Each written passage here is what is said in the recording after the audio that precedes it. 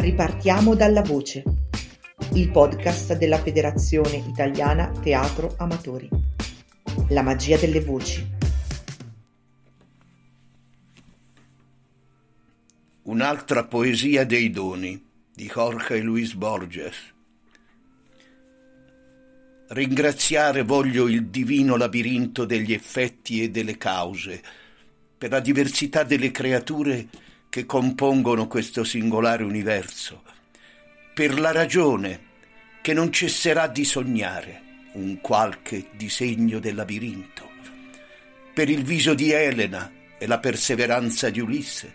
per l'amore che ci fa vedere gli altri come li vede la divinità, per il saldo diamante e l'acqua sciolta, per l'algebra, palazzo dai precisi cristalli, per le mistiche monete di Angelus Silesius,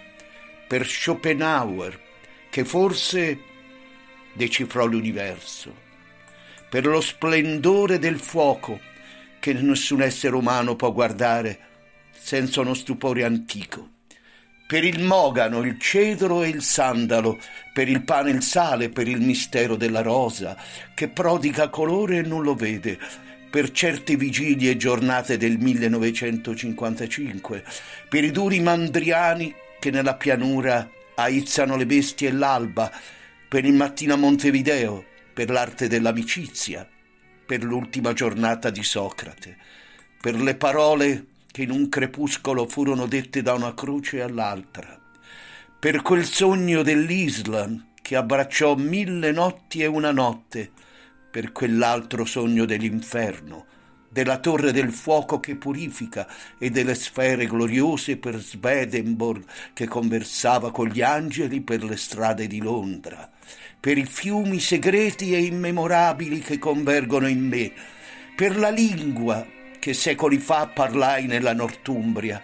per la spada e tarpa dei Sassoni, per il mare che è un deserto risplendente e una cifra di cose che non sappiamo per la musica verbale. Sì, dell'Inghilterra, per la musica verbale della Germania, per l'oro che sfolgora nei versi, per l'epico inverno,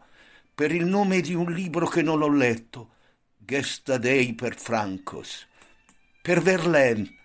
innocente come gli uccelli, per il prisma di cristallo e il peso d'ottone, per le strisce della Tigre, per le alte torri di San Francisco e dell'isola di Manhattan, per il mattino nel Texas, per quel siviliano che stese l'epistola morale e il cui nome, come egli avrebbe preferito, ignoriamo,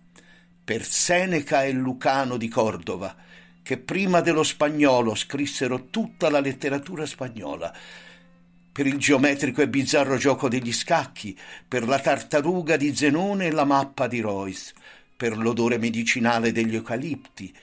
per il linguaggio che può simulare la sapienza, per l'oblio che annulla o modifica il passato, per la consuetudine che ci ripete e ci conferma come in uno specchio, per il mattino che ci procura l'illusione di un principio, per la notte, le sue tenebre e la sua astronomia, per il coraggio e la felicità degli altri,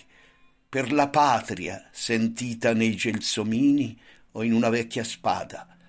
per Whitman e Francesco d'Assisi, che scrissero già questa poesia, per il fatto che questa poesia è inesauribile e si confonde con la somma delle creature, e non arriverà mai all'ultimo verso e cambia secondo gli uomini. Per Francis Aslan, che chiese perdono ai suoi figli perché moriva così lentamente, per i minuti che precedono il sonno,